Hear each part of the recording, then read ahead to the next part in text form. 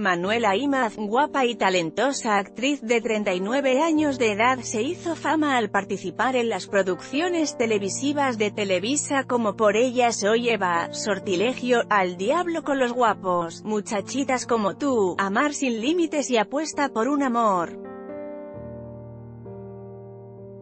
Manuela Imaz la bella estrella de telenovelas que vio la luz del sol por primera vez un 14 de junio de 1979 en Chilpancingo, Guerrero, se alejó de los reflectores en 2012 luego de colaborar en la producción de Por ella soy Eva junto a Jaime Camil y Lucero.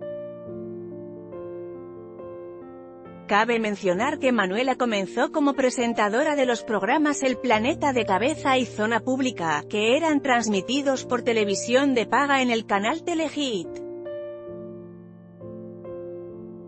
En 1996 recibió su primera oportunidad para incursionar en el mundo de las telenovelas con una participación especial en la telenovela La sombra del otro, en la que dio vida al papel de Lorna Madrigal, niña, que luego fue protagonizado por Edith González.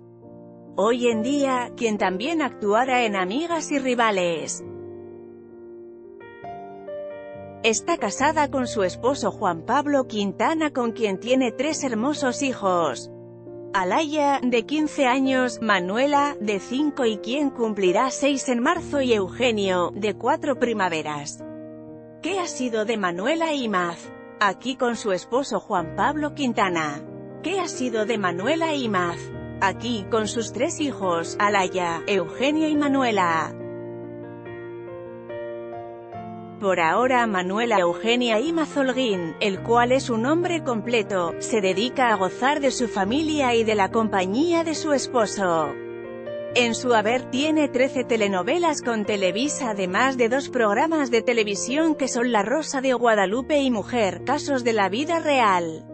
Punto. Texto, Rodrigo González.